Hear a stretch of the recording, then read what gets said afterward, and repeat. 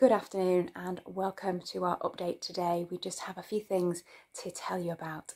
Firstly, tomorrow is a National Day of Prayer where churches from across the country are going to be coming together to pray for our nation at this time. We will be praying for our leaders, for our NHS, and for churches across the country as we try to navigate our way through this pandemic. We would love you to join us to pray. We're going to meet for prayer three times tomorrow, each just half an hour. That's 7 a.m., 2 p.m., and 7 p.m. And you should be getting an email today which will have all the information that you need, all the Zoom codes. So it would be brilliant if you could join us for one of those prayer meetings tomorrow. And also, don't forget that Sundays are back online for now.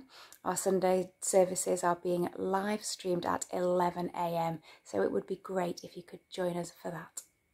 And also, November is slowly creeping by, which means that Christmas is on the way.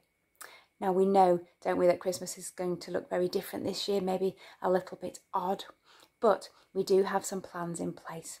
So, keep your eyes open over the next couple of days for some information and emails about how you can join in and be part of what we're going to be doing to celebrate Christmas this year.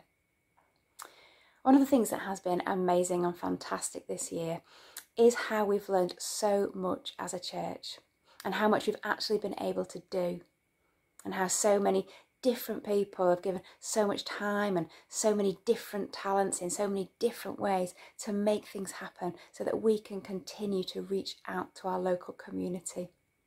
The Bible tells us about the body of Christ and how it all works together. 1 Corinthians 12, verse 27 says this Now you are part of the body of, sorry, now you are the body of Christ, and each one of you is part of it. The church is so many different people with so many different gifts and personalities working together to be the body of Christ.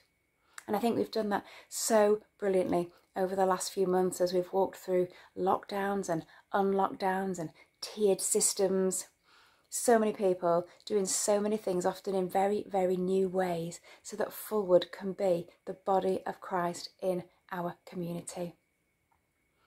And bodies work well when they work together.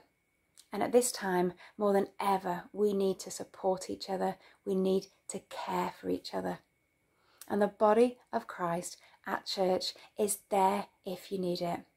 If you need help or a chat or you want someone to pray with you, or you'd like some shopping, or you'd like to make use of the food bank, please do reach out. Maybe to the staff team, you can contact us, maybe to friends that you have, maybe to people in your home group. We know that times are hard and there are many challenges, but that is what we're here for to do this together, to be the body of Christ together. So please do keep in touch. Please don't struggle on your own. Please let us know if there is anything that we can do to help you and to care for you at this time. So thank you. Have a great day. Bye bye.